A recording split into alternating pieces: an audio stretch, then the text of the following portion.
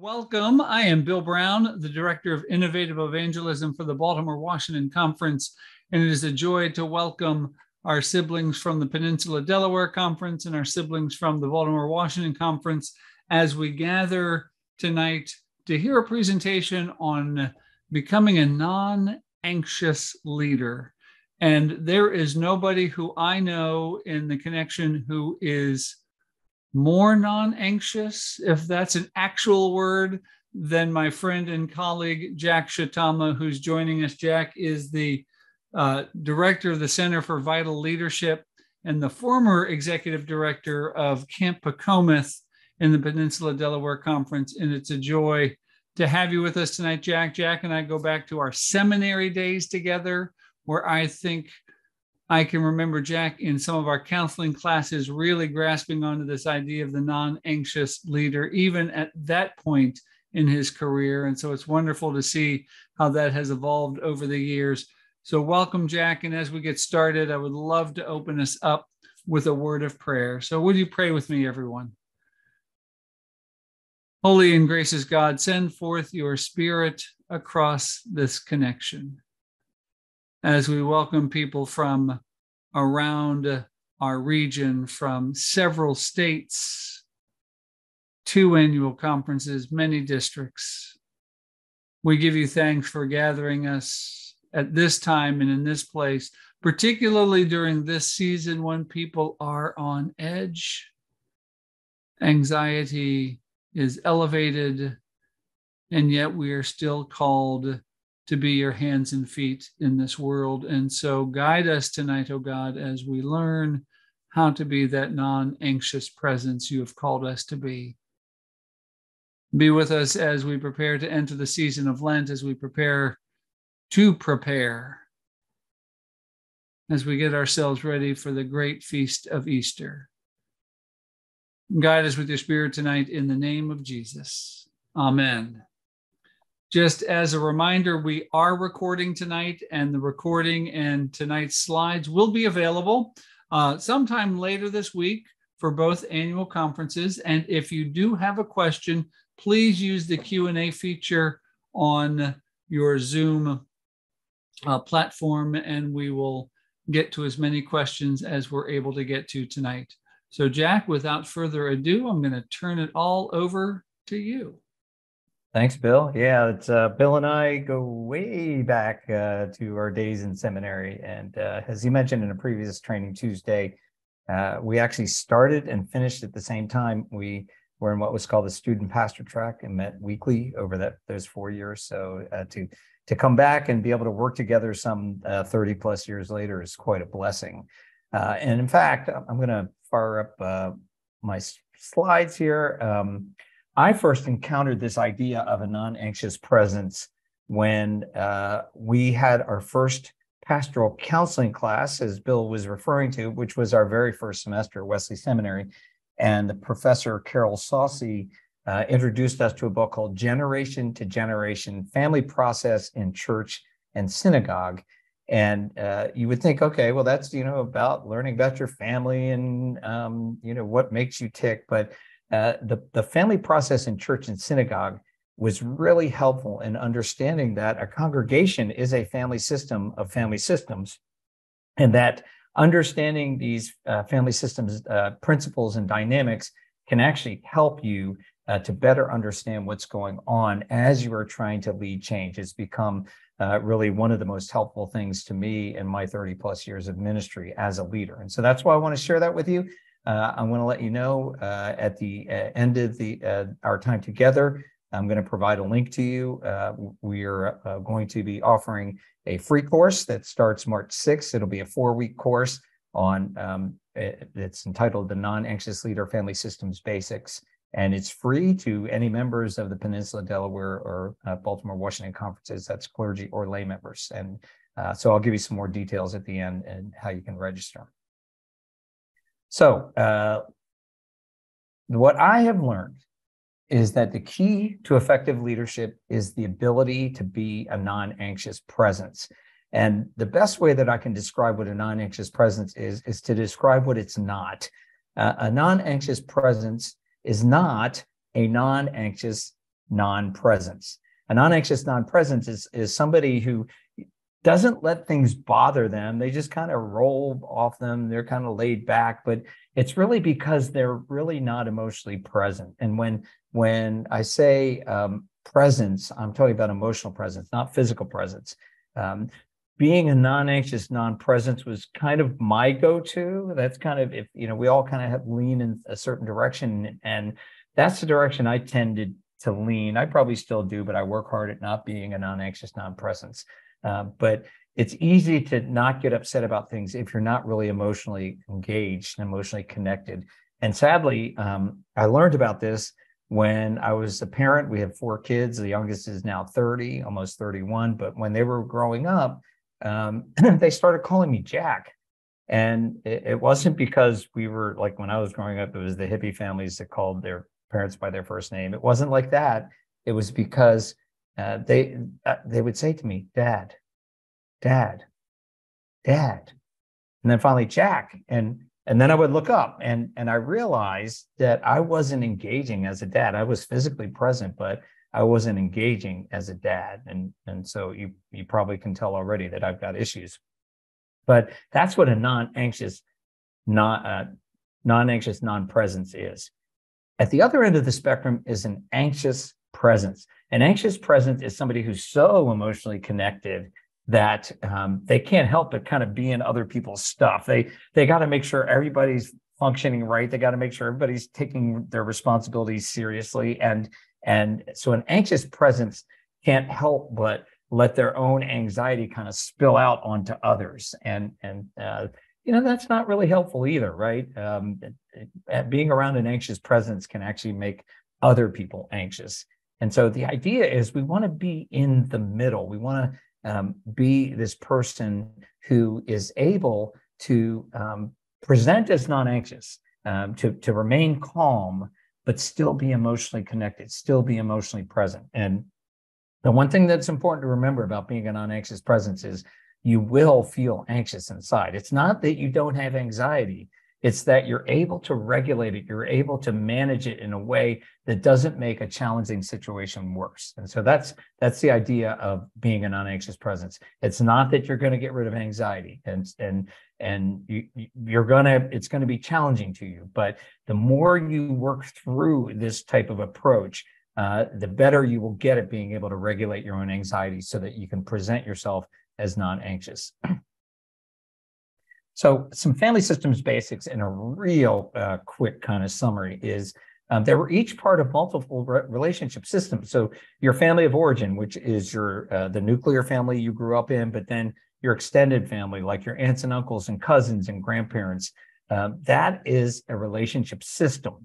Uh, a congregation is a relationship system where, as I said, it's a, uh, a family system of, made up of family systems because you not only have have the members of the congregation, uh, the constituents, but then you have they they all kind of are connected to their own family of origins, and, and so it becomes a family system of family systems, and even an organization uh, like um, uh, our annual conference is each annual conference is uh, a relationship system, and denomination like the United Methodist Church is a relationship system, and and even our, our country is a relationship system. And so, to the extent that we understand how relationship systems function, we can better navigate how we can lead change. And that's that's really the biggest reason to want to be a non-anxious leader is to be able to effectively lead change, especially in anxious times. And as Bill mentioned, uh, we are in an anxious time, uh, not just as a denomination where who, who knows what we're facing in terms of where churches will go and where people will end up, uh, but also as a country, right? We're we're as divided as I've ever seen in my lifetime, and so that creates a lot of anxiety. Now, in every uh, system, there's a tension between being an individual, being a self, and conforming to social norms. Um, the social norms are these things that uh, people agree to abide by, and um, it they can be good. Uh, they help create community. They are expectations um, that help create stability. And so, um, in more traditional cultures, uh, social norms are stronger, uh, and uh, but they are actually uh, uh, more stable cultures. They tend to be more stable cultures, but they can tend to kind of smother the individual. And, and more individualistic societies like our own, um, social norms become less important because, uh, well, we can't even agree on what's truth nowadays, right? Um, uh, but and so people have more individual freedoms, but the society is not as stable. And so there's this tension uh, between individual, individuality and social norms. And the way that social norms present themselves, especially in our families of origin and in our um, congregations, is uh, through what's called surrounding togetherness pressure. Surrounding togetherness pressure are these expectations that we uh, conform to certain ways of behaving. Uh, in, in families of origin, one of the best ways to understand that is holidays. How every family celebrates holidays differently, especially um, like Christmas and New Year's. And every family uh, of origin celebrates birthdays differently. Uh, uh, I, I, know some families where if you don't get a call on your birthday, they don't love you. I know other families where they don't even call on their birthday and everybody celebrates uh, the all the birthdays for one month in uh, on this on this on one day in the month, and and then some families that don't even celebrate uh, birthdays. Not right or wrong, um, but they they are norms that that uh, kind of dictate how we're supposed to behave. In the church, if you've ever heard somebody say, "We've never done it that way before," that's surrounding togetherness pressure, and churches are full of surrounding togetherness pressure as well because they are relationship systems. So another way to look at this is that this, there's this tension between what we call self-definition, um, that is the ability to, to know what you believe and to be able to express that in a healthy way, and between relationship and emotional connection, because surrounding togetherness pressure is the outcome of, of um, uh, relationship and emotional connection. It's the way communities are held together. But um, if if if surrounding togetherness pressure dictates, then a relationship system gets stuck. Um, and if self-definition dictates, then the relationship system really does not have a whole lot of connection. And so you, you're looking for a way to hold those two together. Now, th- this is all to kind of set out the key principle of um, family systems theory, which is this idea of self differentiation. And self differentiation is not selfishness, it's not self-centeredness. Um, what it is, it's the ability to, to kind of express what really matters to you, your own goals and values in the midst of that surrounding togetherness pressure. So when everybody is telling you you need to be at home for Christmas, and you say, you know, um, I, am gonna I'm gonna go to my fiance's parents' house this Christmas. Um, that's that's self-differentiating. You know, I, I, I care about you, but um, I've decided I'm going to do this. Or when uh, you know your, your your family says, well, you know, you're going to be a doctor. Um, well, you know, I've decided that I want to be a social worker instead, or I've decided I decided I want to join the Peace Corps instead, or as in my case, I, they didn't want, say they wanted me to be a doctor, but I felt some pressure uh, because my family wasn't a Christian family. I felt surrounding togetherness pressure when I felt called to ministry, and so um, Self differentiation is the ability to stay connected to people, but being able to express yourself in a healthy way. And uh, Edwin Friedman, who wrote Generation to Generation, says that the hardest thing uh, to do is to be a self, to self define um, while remaining connected. But if you can do this, if you can remain that non anxious presence, if you can really remain uh, solid in your convictions while staying connected, especially to the most anxious. It creates this presence um, that is essential to leadership because uh, you're staying present with people, uh, even who uh, disagree with you. And so, um, the what does this look like? Um, the way I like to describe it is it's the ability to say what you believe while giving others the freedom to disagree. Because really, can you can you convince other people to agree with you anyway? If they don't, it's it's a difficult task. And when you try to t- tell them to disagree with you, to agree with you, they usually push back. Um, so what a non-anxious leader is able to do is able is to be able to say what they believe. I believe this is where God is leading us. Um, you don't have to agree with me; it's okay. But I want you to know uh, this is where I think we should we should be going. And people are attracted to this kind of presence because it, it demonstrates both self definition, that personal conviction of where you believe God is leading, but it also creates emotional connection because you're, you're giving people the freedom to make their own example. Now, why is this important to, to make their own choice? Why is this important? Um, well, this is not my garage. This is a stock photo, but this is uh, this really represents kind of like what my garage looks like. Um, in fact, it's probably a little neater. And, and we have a detached two-car garage, and you know, the, there's a rhythm to the way things go. We've lived there for a couple decades, and uh, you know, when I have stuff that I don't have room for in the house, I just take it out to the garage and I plop it down somewhere. And over time, it gets more crowded and more disorganized. And then every once in a while, uh, maybe once a year, uh, I'll just I'll take a Saturday and I'll just dive into it and I'll toss stuff out and I'll reorganize and I will um, uh, you know I'll, I'll, make it look good again and usable uh, and then it starts the cycle all over again. Well, about 15 years ago, it was a Saturday morning. I didn't have anything on my schedule. I was doing dishes in the in the kitchen and I said to myself, today's the day. I'm going to clean the garage out. I've got all day. I'm going to do it. And then my wife walked by, and and she wasn't even snarky. She she just said, uh, "You know, you need to clean out the garage." And all of a sudden, all my motivation disappeared. It was like to me, I was I was saying to myself, "Now I'm not going to do it now because if I do it now, she's going to think I did it because she told me to do it, and it was my idea first. I mean, I, I really lost all my motivation and I decided not to do the garage. And I told you I have issues. Uh, but what I what I've learned from that is that nobody likes to be told what to do. In fact, the research has shown when you tell somebody what to do, or when you tell somebody what to believe, or when you tell somebody they're wrong, they actually entrench, they push back, and they get firmer in their beliefs.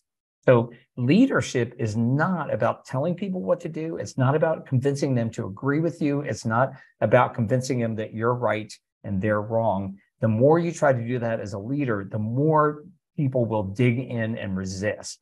And so we want to find a different way. We want to, if we're going to lead change in any relationship system, but especially in the church, um, then we need to find a different way. And that different way, according to family systems theory, is leadership through self differentiation. I, I, should stop here too, because I could just go on. Um, if you have a question, please just drop it in the chat. Uh, uh, Bill will uh, let me know and I'll answer it right there. Okay. So we're going to use the Q&A.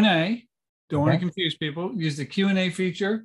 And we're still waiting for our first question, Jack. So take a sip of water and carry on. Um, I know you are priming the pump though. Okay. Well, we'll see. I mean, you know, if nobody cares, nobody cares. I'm trying to be self-differentiated. So anyway, um, so the idea of self-differentiation is that you as a leader are you're prayerful, you're seeking God's will, you're trying to discern, and you're able to say, This is where I believe God is leading, whether this is leadership in the church or leadership in your own life. I believe God is calling me to do this, or this is really important to me. But as a leader, you understand that. And if you can express that in a healthy way, while staying in touch with the rest of the people in uh, the congregation, in the system, um, especially the most resistant, especially the most anxious, um, then there is a good chance that the body will follow. And I've seen this happen over and over and over again. It's not easy um, because uh, there will be resistance and there will be people complaining. There will be people who are anxious. There will, there will be people who may even get disruptive. Uh, and what they're trying to do is they're trying to sidetrack you. They're trying to get you to go back to the way things were before. And and the the challenge then as a leader is to remain a non-anxious presence. To say, "This is what I believe. Um, I think this is where God is leading us. It's okay if you don't if you don't agree, uh, but I believe this is where we're going to go. Um, and and then but then stay connected and show you care about the people who are most resistant. Go ahead, Bill. Uh, question for you, Jack.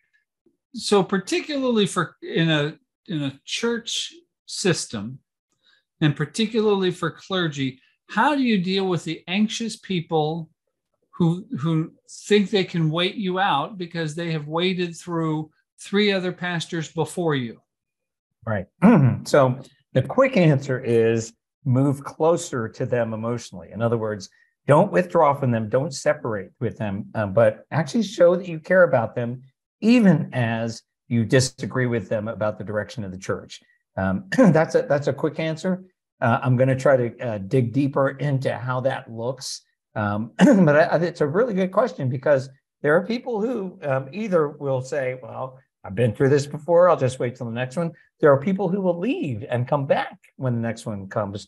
Um, the most important thing that you can do is uh, let them know you still care about them, um, but they're not going to, uh, you, you know, they might convince you that you're wrong. That's okay if you have an open mind. Have an open mind, um, but just by just by saying they're going to wait you out, um, you don't want to let that keep you from trying to move forward in the way you believe God is leading. And a lot of this is faith and trust, right? If we believe this is God, then um, this is not about us.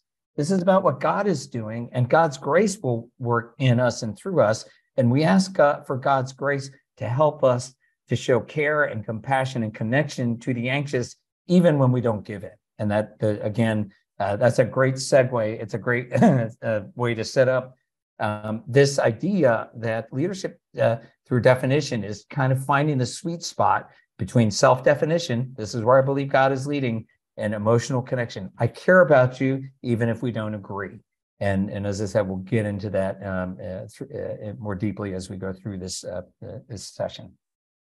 So here's what um, leadership through uh, self-definition, it's experienced by those uh, in the relationship system as authentic, authenticity and presence. And so the first thing is your point of view, your, your experience and where you come from matters, and, and you respect the experience of others as well. And so that's really important that um, you you can be a self while letting others be their, themselves as well.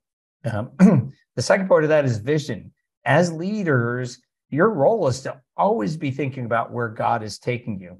You know, you know, leadership, I believe, um, inherently involves change because if if you're leading, you're always looking to move to a better situation, to improve things, to get better at what you're doing, and to be more effective.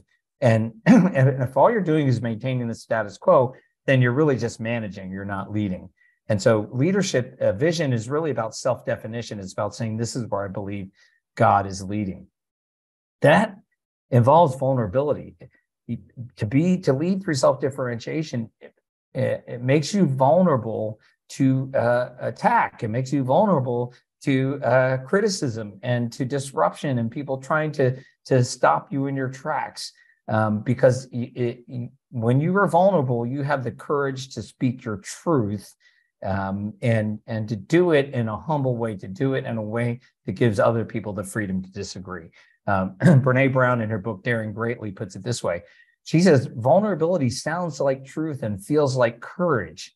Truth and courage aren't always comfortable, but they're never weakness. And what she's doing is she's going at uh, directly at the cultural myth that vulnerability is weakness, that as leaders, we shouldn't be vulnerable. Um, and, and instead, she contends that it's the opposite. Edwin Friedman, in his book, A Failure of Nerve, says something the same similarly when he says that leaders need to be willing to embrace vulnerability. They need to be willing to put themselves out there in a place where you know they know things might not work, but that's okay. They're they're willing to try because they believe God is leading, and uh, they not only need to be able to embrace it, according to Friedman, but they need to learn to love it. In other words, uh, one of the things that I, I, tell people that I mentor and coach is that when, uh, as a leader, uh, you want to actually start to seek out that vulnerability, that place of discomfort where um, you, you, you start to love feeling like, you know what, I'm putting myself out there because God is leading me to do it.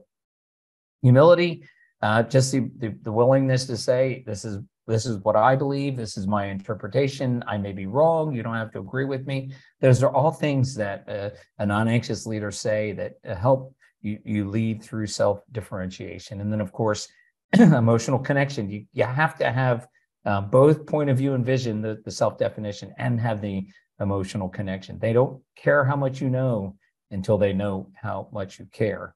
And so um, it's really important that we understand that leadership through self differentiation is not about being right. It's not about um, convincing others that we're right. It's about discerning what God's will is and then trying to lead in that direction while staying connected to the, especially to the most resistant and anxious in the congregation, in the relationship system.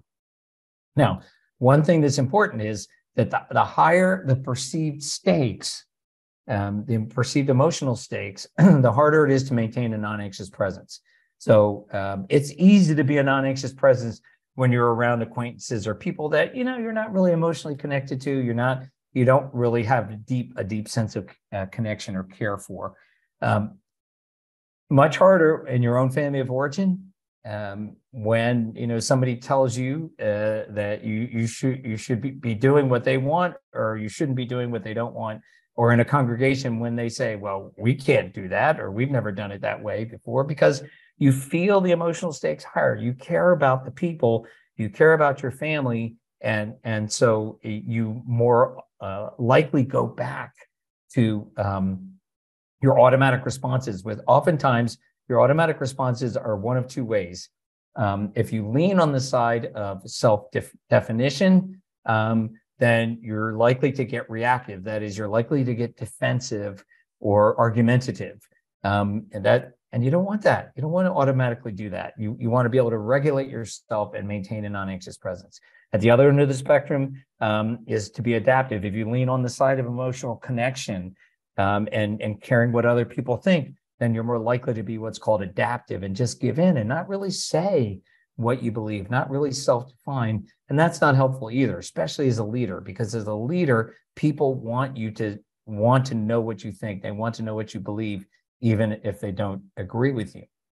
One of the things that makes this tough is what's called the leverage of the dependent. Dependent people are people who say, well, if you don't do what I say, you don't care about me. Um, or uh, we, we need you to do this because uh, this is, we're all going to be upset if you don't. In other words, they're depending on you to meet their emotional needs. And that type of dependency uh, can keep uh, any relationship stuck. Uh, when when the dependent uh, are are saying to you that you you need to behave a certain way, or they're going to be upset, um, they're not going to have their needs met. Um, they're gonna they're gonna try to put you in a bind that makes it really difficult. And so, as long as you're trying to convince them, oh, that no, no, don't worry, you're you you just need to agree because um, uh, we're we're we're going to be okay and and and you don't you won't move forward until they come to an agreement then you're stuck they have the leverage on you on the other hand if you say to them and i'll get i'll get to you in a minute bill if you say to them um, hey I, I, get you're worried about this i get your concern um, i really do believe uh, god is calling us in this direction and and it may not work but that's okay we'll figure it out i may be wrong but that's but I, this is what I believe. And if you don't agree, that's okay. Uh, but I think we should move forward. And, and so that's what a non anxious leader is able to do. And as soon as that happens, what happens is the, the dependent ones, they no longer have the leverage because then they're trying to convince you to stop instead of you trying to convince them to go. If that, if that, if that, you get that analogy. So uh, as long as you're trying to com- uh, convince the dependent, the stuck ones, the resistant ones to go, go along with you, they've got the leverage. You're stuck. As soon as you uh, say, you know what, that's okay, and they have to convince you to stop, um, then it opens up the possibility for change. Uh, Bill, you got a question? As soon as I unmute, we've got well, we've got a statement and then a question. Okay. And so if you could just reflect on the statement, one of our participants writes, doesn't this go back to Micah 6 8? Act justly, love mercy, walk humbly with God. This works as a follower of Jesus and also as a leader of followers of Jesus. So how does, how does what you're talking about relate to that Micah 6 8 passage that our participant lifts up? Well, so um, this is uh, uh, this has a lot to do with the self definition of part of it, um, you know, um, and and also the emotional kindness. So the act justly part um, if we think of justice in terms of what's right, we're, we're thinking about where's God leading us to help make things right, uh, to point to the reign of God in the world. Um, to, to love kindness is, is to show emotional connection, right, uh, to others, even those who disagree, and to walk humbly is to be able to embrace that vulnerability and know you might not be right. It's okay. So, um, so I, I, I would agree. Um, I think anybody who seeks to live by uh, Micah six eight is uh, uh never going to go wrong. The problem is people get anxious people fear change and and so they resist and that's that's what gets any relationship stuck whether it's a family of origin a congregation an organization or even a denomination.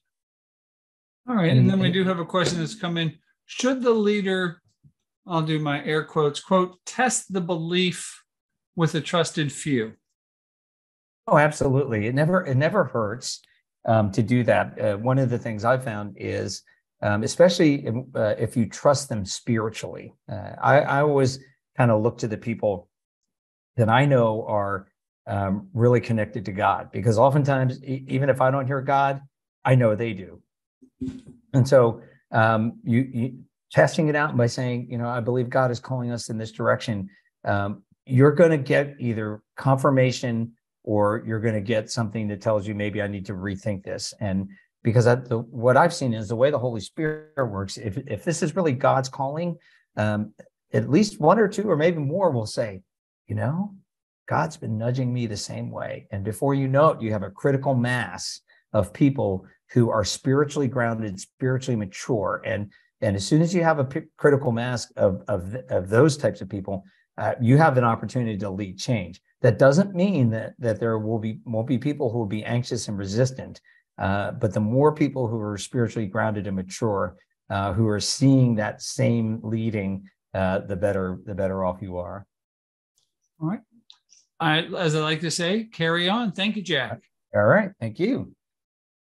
Okay, so one of the concepts of uh, family systems theory is the concept of a triangle. Um, and a triangle occurs when two people become uncomfortable in their relationship with each other and they focus on a third person or issue to stabilize it. So, um, an example might be this this happens a lot in couples relationships. Uh, couples uh, are not, you know, they're just not as comfortable with each other, not as open and vulnerable as each other as they could be. And, and so, one of the ways that a triangle can occur is one of the members of the couple focuses on their work. They dive into their work. They get um, um, even obsessed with their work. Um, well, what happens then? And that that's kind of a way to avoid, right? A way uh, to avoid dealing with the discomfort in the relationship with the other member of the couple. But what happens? The other member of the couple um, starts getting uncomfortable with the amount of hours that are being spent or the obsession and, and starts maybe complaining you're working too much. Uh, well, my boss tells me I have to. Um, you know, why didn't why aren't you home earlier? Well, I'm, my career is really important, and and so all of a sudden they start focusing on the work, and um, that that that actually becomes uh, the focus of all their conflict, the focus of their energy, and it enables them to avoid dealing with each other. So um, another triangle that is a classic triangle is substance abuse. Uh, substance abuse is when uh, the abuser, the user, um, is uncomfortable with one or more uh, relationships in their family of origin. And so they start using, they start abusing substances. Uh, well, what happens? The family starts focusing on the abuse. Uh, they and they don't fun- focus on well, how am I enabling this abuse? Uh, in fact, that you know, Al-Anon. One of the things Al-Anon does is it helps people who are family members stop trying to uh, focus on the abuse stop trying to fix the abuser and start focusing on how their own functioning and how they might set appropriate boundaries and how they might um, stop enabling uh, the other so um, why does this matter um, because triangles are a function of the lack of self-differentiation so that to the extent that we're self-differentiated even when we are uncomfortable we will deal with that discomfort and deal with the person, um, you know, that relationship that might be uncomfortable. Murray Bowen says um, that that most people, Murray Bowen was the developer of family systems theory. Most people were are going to be able to self differentiate about a third of the time or less.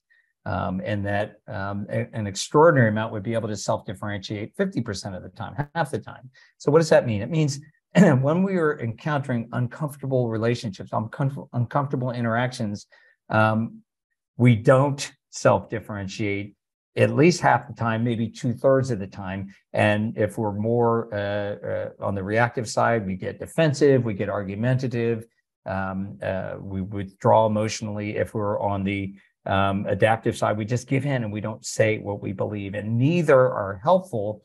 And so, what happens when we self differentiate um, less of the time is we then look to triangles to um, uh, uh, uh, find a way to stabilize the relationship. Bowen says that the triangle is the most stable form of human relationship because people aren't very good at differentiating in co- uncomfortable situations. So, in the church, this happens all the time.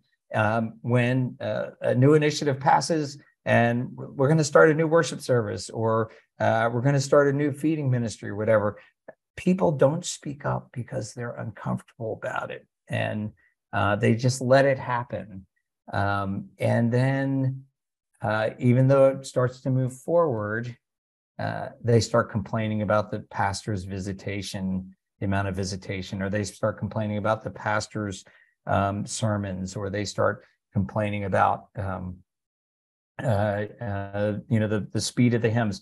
It, it, it, it's a way of avoiding their own discomfort, and people aren't doing that on purpose. Um, it's just they're they're they aren't able to self differentiate, and so they're looking for another way to displace their discomfort. And the triangles are all over the place. They're in our families of origin and they're in our congregations. And so being able to recognize triangles helps you to understand that it's process, not content. So it's not it's not the content of the situation, it's the emotional process that's going on. What is going on? Is somebody being reactive? Is somebody being adaptive? Or is somebody able to express themselves in a healthy way? And, and when you start to recognize the emotional process, it helps you to avoid getting in the con- into the content because when you get into the content with them, you get stuck. Uh, my, my best example is um, it, in my second appointment, first Christmas Eve, I was coming into the church for uh, the Christmas Eve service, and we had decided to do something radical. This was back in 1996. Uh, instead of the uh, uh, traditional service of lessons and carols, we were going to have uh, four young people all dressed in black on bar stools with music stands reading a dramatic interpretation of the Christmas story. And when I say young people, I mean people in their 40s and 50s. So I just thought this was great. You know, we're, we're going to be able to reach people who uh, maybe don't connect with uh, uh, the story about Jesus because they don't come to church very often. Uh, it'll be it'll be refreshing. It'll be new.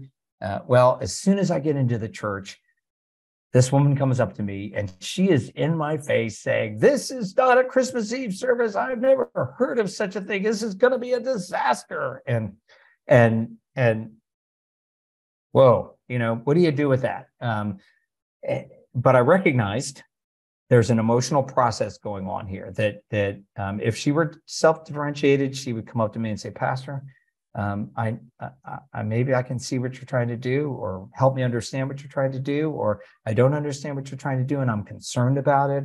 Um, they would be less anxious and less reactive. So, uh, my training had told me, and I think the Holy Spirit helped me to not get into the content, not start trying to convince her. Um, well, this is we're going to try. We're going to reach people who um, aren't comfortable with churchy things or whatever. Um, but to, to just show that I care, show that I'm connected, um, and not um, not engage in the content. And so I, I I said to her, I think, like I said, I think the Holy Spirit gave me the words um, to just say, you know what, um, I, I I can always count on you to tell me how you feel, and you know you know notice I didn't argue with her, I didn't get defensive. Um, I, I was trying to show I care. Um, thank you for sharing is always a good way to do that as well. and I was able, she was just, well, she wasn't real pleased by that. She goes, well, you're right about that. And she stomped off. Well, the, the, um, after the service, I went up to the lay leader and I asked, uh, what's going on? Is she okay? Um, it seems like something's wrong. This seems a little bit out of character. And and um, the lay leader told me, well, two years ago, right around Christmas, her 23 year old daughter died. and so immediately I knew what was going on. She was grieving, and, and there was a triangle. The triangle was her grief and and um, the Christmas Eve service. So she was uncomfortable with her grief over her daughter dying, which of course, um, you know that that's hard. Um, and so what she was able to do is focus on the Christmas Eve service and take her anger and her her um, you know displeasure out on the Christmas Eve service. Uh, so what I was able to do is I was able to contact her um, after Christmas, a week after Christmas, um, and just asked to come over and visit. And when I went over, um, I just you know the first thing I mentioned was I, I heard about your daughter, and I'm so sorry. And that's all we talked about. The Christmas Eve service never came up. Um, so by avoiding the content of the situation and understanding the emotional process, I was able to to really on, know what was going on with her. And and excuse me, so many times when people are uh, responding in these ways to you, there are other things going on in their lives um, that have nothing to do with the content of the situation. And so recognizing the emotional process helps you to avoid getting into the content right away. Uh, now, sometimes people can say things uh, with a lot of emotionality and a lot of reactivity, and maybe they're right, and maybe you still want to hear that through that. But if you can avoid getting into the content right away, it can help you to think more clearly. So, um, understanding that it's process and not content helps you to see uh, things with a different lens. And the way I like to describe that is, excuse me, when others are defining themselves and they're doing it in a healthy way. You know, Pastor, I don't understand, or Pastor, I'm concerned about this, or Pastor, um, I can't agree with you. Feel free to um, engage. Tell me more. I'm sorry, excuse me. Take your time, Jack. Take your time. If we have any questions, please feel free to use the Q&A uh, as we give Jack a minute just to uh, catch his breath and get his voice back. All right, I'm going to try to go on. Excellent. It doesn't quite feel like my voice is here. I could run get a lozenge and um, let me go do that real quick, okay? We get a lozenge. We'll talk amongst ourselves. Great, thank you. I don't know what we're going to talk about, but um, please feel free to drop questions in the Q&A and we'll get to them as soon as Jack returns. We'll also have an opportunity if you know if you th- think of something afterwards to be able to connect with with Jack, uh, particularly if you're interested in taking his course and information about that is found on both of the conference um, websites so that you're able to take that when is offered in March. We do have a question that's come in as soon as Jack comes back. So if you need to uh, uh, stand up and stretch, Jack, we've got a couple of questions that have come in. Oh, good. Okay. Um, somebody would like to know how long did it take you to develop a non anxious presence as a pastor? Um, forever. no. Um, I, it's a work in process. Uh, like I said, um, if you think that, if you understand that it's going to be hard to self differentiate even a third of the time, um, especially half of the, half the time, then um, you give yourself a break when you don't. If you get upset and you respond in a way you don't want to, or if you just give in and you don't um, uh, you don't speak up in the way you want to, um, the, what uh, Bill uh, Selby, who uh, founded the Center for Pastoral Effectiveness in the Rockies, who teaches this, um, he says a sentence always ends with a comma, not a period. And that means that um, it's never the end of the conversation. You can always come back and revisit. And, and so I would say that I recognized what that looked like pretty early. Um, and over time, I got better at doing it. And so um, what, what you want to be able to do is first understand the principles and then be able to um, pause in the moment. There's a concept uh, called self regulation. Um, in emotional intelligence, I call it pausing, where you um, create a gap between the stimulus and the response. Um, Stephen Covey talks about creating space between stimulus and response because our automatic responses actually come from the primitive part of our brain. So if we're wired to fight back, or if we're wired to just give in, that's what's going to happen automatically in anxious situations. And, and what you want to learn to do first is to just pause, just self regulate, and allow your brain to catch up with the automatic response, not say anything. And this is, will be uncomfortable at first, but if you can practice that, you'll get better at that. And the better you get at that, the better you give your chance to, uh, self a chance to think and say, okay, what's going on here? Um, how would I like to respond?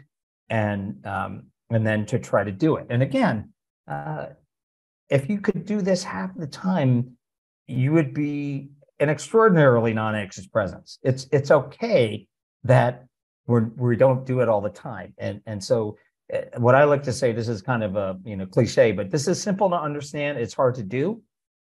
Um, but just understanding it gives you gives you a chance and being able to create that space uh, in your response is really important I, you know, I would add to that, Jack, that it's a very intentional mm-hmm. decision mm-hmm. with every conversation. And when you do, when you're not successful at it or get it wrong, or however you want to define that, when you become that anxious presence or that non-anxious non-presence, as you describe it, it's it's kind of dissecting the conversation and then learning from it. Yeah, yeah, and and I think what at least for most of us, and, and me, I, I, this is something I had to work against. Is we feel like we have to respond right away. Mm-hmm. Um, we're uncomfortable with silence, um, but but being able to just be thoughtful, um, I think people appreciate that. You know that you don't just spurt something right back out or give in right away. That that um, you're thoughtful, and so the the the better you get at um, creating a pause and getting comfortable with the pause, the better chance you have. and I'll I'll just say a plug for the course. That's what the course is about, is helping you to learn all about that and how to do that. So, so this is just a teaser. Sign up if you want to know more. We do have someone who's asked the question. Um, they write, I see the value of being empathetic and being emotionally connected, but should part of the process involve having conversations explaining the reason reason why or informing folks how you plan to get to where you're going. So that goes directly to this slide. Um, you can you can uh, you can do that in general. Make sure you let let people know this is what i believe this is where i think we're heading this is why all of that. Um, and then for those who are um, self-differentiating they're explaining uh, things asking things in a healthy way even if they disagree get into a conversation, dig in with them, ask them why they why they disagree or what's going on, um, because you're going to learn things that will help you. Uh, but when they are defining others, especially you, you you're leading us down the wrong path. You're going to destroy the church.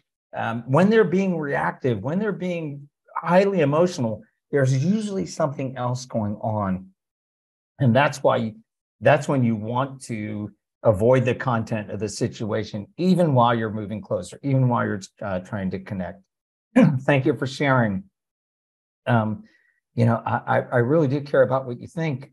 Um, and and I'll get into this in the course, but one of the things you can do is just listen. Um, just ask questions. Let them let them vent. Let them go to town. You're not then arguing who's right and who's wrong. You're not trying to convince them to agree with you you're just listening. And oftentimes, just listening, especially with open ended questions, reduces the emotionality, reduces the intensity and the anxiety in the situation. So um, I use this guideline because I don't think you want to try to uh, convince an anxious person, well, this is why we're doing it. And this is, um, these are the uh, things behind it. Because if you've ever been in a discussion with somebody like that, you, you, you can't win. Um, they're going to you know they, they'll find every way to disagree with you and so um, this actually sets up the next thing, which is um, this concept of a conflict of wills, which uh, I mentioned the research shows that when when you try to convince somebody to agree with you, uh, it actually has the opposite effect. And so, what we want to do is avoid that conflict of wills. We want to avoid getting into the content and trying to convince somebody else they have to agree with us. That comes from our own need to be right and possibly the need of the other person to be right. Uh, it results in the opposite. Um, res- uh, it, you know, results in the opposite. They're, they're just going to push back and be more firm in their position than their disagreement. And so, one way to look at this is don't argue, don't agree. Okay, don't get into that conflict of wills with them. Don't give in either, but just show you care. And like I said, listening is a good way to do that. Um, being able to just be present with them in a way that shows you care. One of the things that I'll do sometimes is after listening for a while, I want to get I want to get to really what's going on with them. In fact, uh, when I work with people and they're, they're they're talking about somebody who's being real anxious and disruptive, the first question I'll ask is what's going on in their family of origin, and I'll usually find out. Oh, well, they have a spouse who's terminally ill, or they just retired, which is a huge transition, or they um, now now they're empty nesters, and or you know they're they're they're having a conflict with their sibling, and and you find out okay, there's something else really going on and so when when somebody is in that situation, if I can just listen for a while, not argue, not agree, uh, at some point, if I can get to the point of saying, oh, well, you know, enough about that. Um, tell me, how are you doing otherwise? Uh, oftentimes they will open right up because they're already, you know, they're they're already primed to to let loose of it somehow, and they've focused on this triangle, this thing that really isn't the issue for them, and and it gives them an opportunity to to share. And what you will find when you actually work with people in that way, you don't argue, you don't agree, you stay connected, you move closer to them, um, that and you help them through their difficult times. They actually become big supporters of whatever you're trying to lead because they really weren't against it to begin with. They were dealing with their own discomfort in some uh, other uh, way. Now, some people are uncomfortable with the change itself. But what they tend to do is not focus on the change. What they tend to do is focus on something else. Like I said, like the pastor's preaching or the speed of the hymns or whatever. Um, and and again, if you get into the content with them, you get stuck because uh, what they're really uncomfortable with is the change. And and what what you want to do is just stay connected to, with them. Show show that you care. Um, uh, so I have an ex- example uh, because this this is what's called sabotage when when um, you when when people are uncomfortable with change, uh, what they will tend to do is they will tend to then disrupt things in a way uh, that that it doesn't really have anything to do with the change, but it it sidetracks the the leader. Um, a good personal example of this is uh, this is not my own example, but an example of kind of in someone's personal life is let's say a person decides they're going to exercise, they want to get healthy, and and so they start doing that, and they're exercising, and they're doing really well, and they're feeling really good about it. It's become a habit for them, um, but for some reason, their their father is uncomfortable with that, and um, you know this is what happens, right? I don't know why it happens, but people are uncomfortable with change um, and so they sabotage and they don't do it wittingly, but they're uncomfortable. They want they want things to go back to the way they they are. And so what does what does the father do? Well, you know, your brother's spouse, you need to talk to them. They are getting out of hand. You need to talk to your brother. Tell your brother to take care of it. Well, what does that do? That makes you feel anxious. I don't want to talk to my brother. That's his problem, you know, but but you're getting this surrounding togetherness pressure. There's this triangle being created. And what does it do? It creates anxiety in you. it makes it less likely you're going to um, uh, exercise. You get thrown off for a couple days. All of a sudden, your habits get broken, um, and things go back to the way they are. And that's that's really what sabotage is. When when you are trying to lead change, um, there there are ways that uh, people try try to focus on something that sidetracks the leadership. And so the, the best thing you can do is stay connected to those people without getting into trying to convince them, well, you know, uh, I, I like if I'm a pastor, look at how many hours I visit. Da, da, da. You know, um, if if you can just share with them, I hear what you're saying. Um, I'm doing the best I can, um, and I'm I'm going to keep working on that.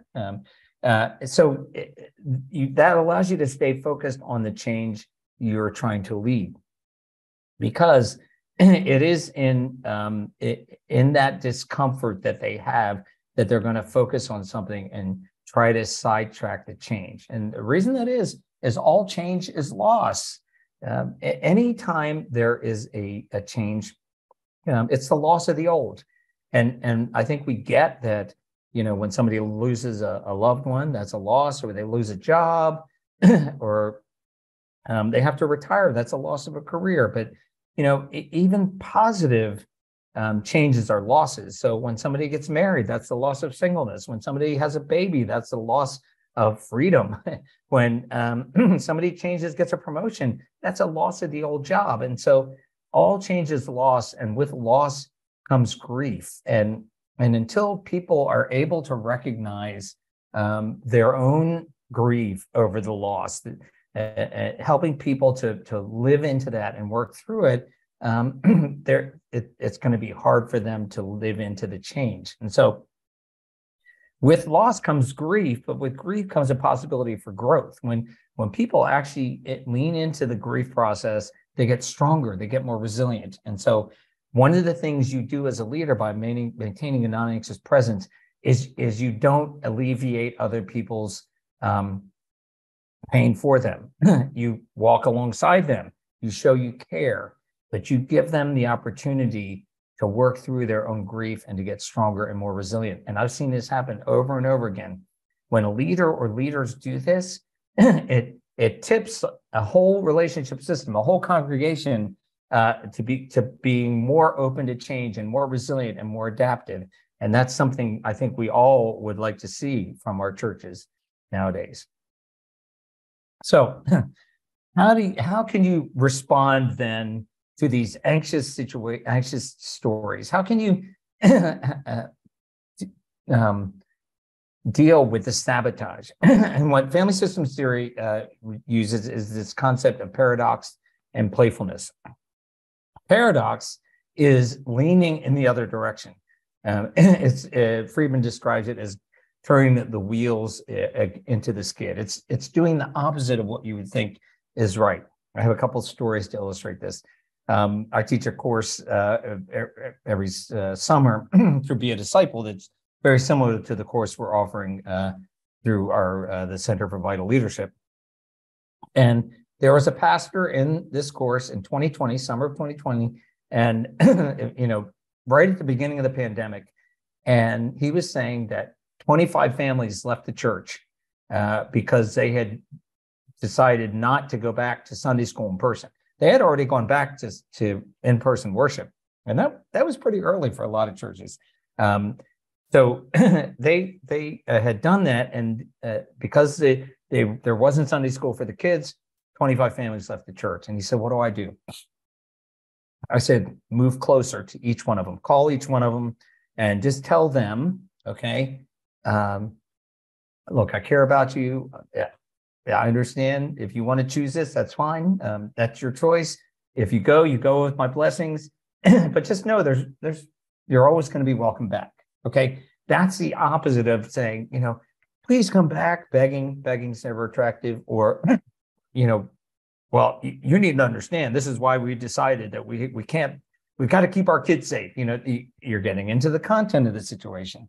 Paradox just gives the responsibility of choice back to the other.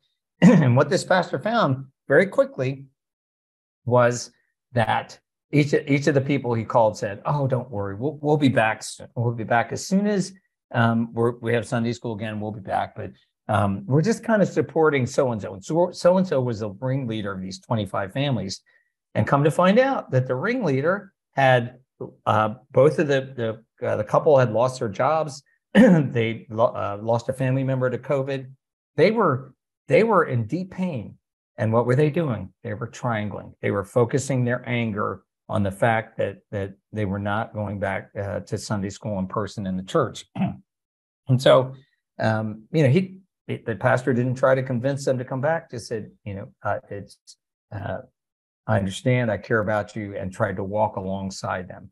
I never really heard how that uh, story finished because we were only together for four weeks. but just the good news in that was that by staying connected to most most of those families were going to come back, and so that's paradox. Um, another another example of paradox. Uh, when I was being taken in uh, as a new pastor in a congregation, um, uh, the uh, the district superintendent said to the uh, staff parish relations committee, um, "I think you need to know that your new pastor has an earring." Uh, this was back in the '90s, so um, I guess it was a little bit more radical then. Um, and and one of the members of the SPRC said, "Well, I'm we're not going to put up with this. I'm not going to have this. If that happens, I'm leaving. I'm going to another church." And one of the women in the S in the SPRC, I wasn't there, but they told me about this, turned and looked at her and said, Well, we'll miss you. That's paradox, right? You're when people give you an ultimatum, you give them the freedom to choose. You you call their bluff. You say, okay. And notice how that was still being emotionally connected. It will miss you means we care about you, but you have to make your choice. Um, the other part of that is that was a little bit playful, right? Um, you know, every time I hear that story, I laugh, and anytime somebody who's in that room tells a story, they laugh.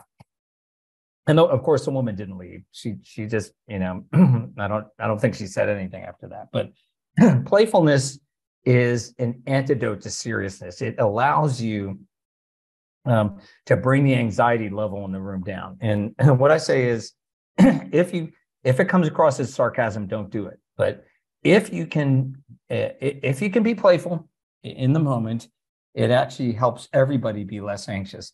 Uh, friedman in his book generation to generation talks about a, a rabbi who goes into a sunday school and they did call it sunday school. And it was the day of a big uh, congregational uh, celebration in the synagogue. And um, so everybody was kind of on edge. And there were several parents who were up in arms because a 10 year old boy had written in Hebrew letters the the, uh, the slang for feces, and and you know they're like, oh, we have to do something about this, and and the, the rabbi immediately knew this was a triangle. They were they're anxious about the uh, the congregational celebration, and they're focusing on the kid. And so, what did the, what did the rabbi say? Well, the rabbi noticed that actually um, the the child, the boy had spelled the word incorrectly, and that if you pronounced it, you would pronounce it shite. And so the rabbi said, Young man, you've gotten this entirely wrong. I want you to write this correctly 100 times. And all the all the leaders laughed, all the anxiety came down, and they were able to move forward. Uh, one last story. This is a personal story. um, we were we were at lunch one day after church. It was my uh, wife and three of our four kids. And it was a beautiful day. It was a, a fall day. We were at, at, a restaurant outside in the sun, uh, looking out at a river. And uh, we it just felt really good. And, you know, we'd been there for 20, 30 minutes. And my wife just said, We have the best family in the world. And we all are like, Yeah, this is great. You know, well, not 10 minutes later or so, my two sons, they're, uh, they're four years apart and they just started arguing about mortgages. And the older one had worked in the mortgage industry the, the younger one was working in the mortgage industry. And and I, I, don't even know what they were arguing about but you know it, things got more tense and more uncomfortable and more uncomfortable. And finally one of them said you're not hearing what i'm saying. And then there was this silence. I mean just really uncomfortable really anxious and again, I think God gave me the words to say. And, and I just said, well, we used to have the best family in the world, which is playful, right? I mean, because should I try to get them to to get along?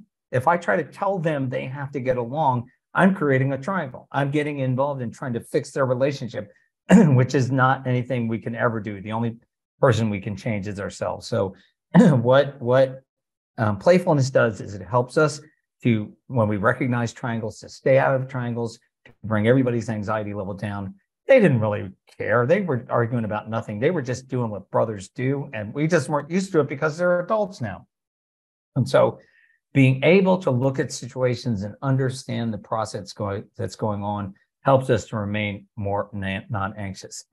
now, how do you really work through this and get to the point where you can, you can be more of a non-anxious presence? Um, what they say in family systems theory, it's doing your own work. This is called a genogram. A genogram is like a family tree, but it shows uh, relationships lines. Um, and this is, I guess, Luke Skywalker's uh, family tree. I don't know much about Star Wars, but I just thought it was a cool diagram. Green is uh, closeness, so he's really close to Han Solo. Um, jagged lines are conflictual. Um, dotted lines are distance. And, and this shows when you start to work through your family of origin, you start to figure out which relationships cause you the most anxiety. And then it's in those relationships, if you can rework them to where you can become more self differentiated, you are able to actually then self differentiate in other situations. And, and this is this is a work that takes place. Um, it's not easy work, uh, but it's work worth doing. And and one way I can uh, always tell uh, who where there are anxious relationships is if there's somebody in your family of origin or if there's somebody in your congregation that whenever you see a, a text message or a voicemail or an email from them, your blood pressure shoots up, then that's a relationship where you want to focus and try to rework it, especially in your family of origin, because it families, you know, are probably the most flexible and and welcoming and supportive, even when they're not. But they they tend to not give up on us, and yet we feel the stakes are highest in our family of origin. So if if you can rework that relationship with that family member, where um, you know if you're used to giving in, you can stand up to yours with to them and say, you know, I really care what you think, but I'm going to do it this way this time. Um, and then m- maintain connection with them when they start to sabotage and act up. Or if you normally react to them and you can self regulate um, and not get defensive and just show them that you care without uh, without trying to get them to agree with you, you're reworking how you deal with the most difficult relationships in your own family of origin. And when you can do that, you will make progress as a non-anxious presence and a non-anxious leader. And that leads to my last slide, which is uh, Soren Kierkegaard's quote, which is my favorite. It, I think it really helps us to understand uh, what what family systems theory can help us do. It helps. It opens ourselves up so that God can enable us to become the person that God calls us to be.